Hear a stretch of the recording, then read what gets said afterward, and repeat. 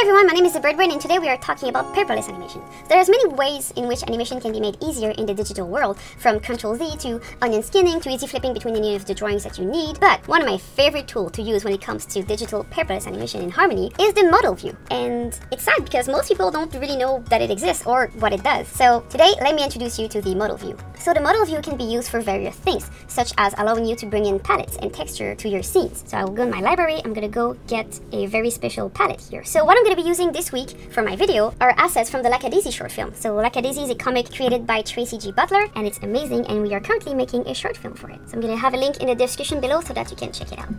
So I'm going to go get Mr. Freckle here. I'll import it to my camera view.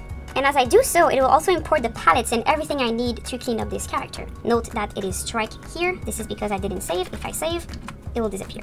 Amazing! By the way, I'm going to show you how to create these model template in a different video. Uh, today we're just focusing on the model view. But in this template that I imported, I have my color model, but I also have some model sheet here to help my artist out. So the model view is a view. To access it, simply click on the plus sign here and find it in the list. So the model view is used to navigate the drawing element of a layer. So to use it, first you need a layer. So now I click on this library file, but I could also have just a new layer here and write something with like one, two, three, four, five. And then if I take that layer and I want to see it in my model view, I can just click on it and drag it to my model view. And I'll be able to see this frame in my model view. In the model view, you can use the F and G shortcuts to navigate your drawing. And you can navigate this view exactly like you would navigate your camera view. So you can zoom in and out, you can press space to scroll around, and you can use the F and G shortcuts to move from one drawing to the other, making it super useful to import your reference image and then have them all in your scene. This is great because if you're working with only one screen and you don't have two monitors, then instead of scooching your things to the side to get your references, you can just have your full scene open and simply bring it here to have everything you need inside your model view, instead of having to scooch it on the side. Be careful though because the model view is just reading your frames. So if you go here and you draw something, um, it'll also appear in your model view, just so you know. But being able to see your bitmap images inside your shot is not what makes this feature amazing. What really makes it super awesome is that once you have a fully painted drawing in the software, you can use it as a color model and load it in any of your Harmony scenes. And once this drawing is loaded in the model view, it will allow you to color pick the color palettes directly from the image instead of looking for a color here in the color view. So if I had a frame here to paint, I could easily just use the model view's built-in color eyedropper to select a color from the model and paint it directly in your camera view.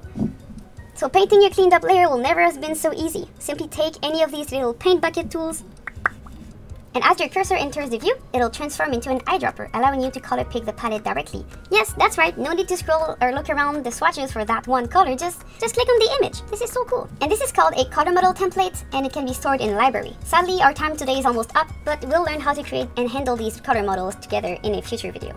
Be careful, however, there needs to be a color palette attached to this drawing for Harmony to color pick it. Uh, if you try to color pick from a random bitmap image, like this one, all you're gonna color pick is something called no color, because there is no swatch or palette attached to that image, it's just a random pick. It only works if you have something that was drawn inside the software, like this image. Alright, and like I said, anything can be a model. All you have to do is create a layer, for example, draw something,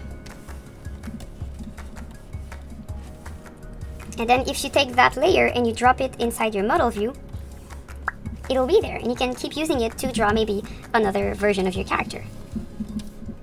So great! but remember, if you edit your layer, it will also edit it in your model view. Point point oh.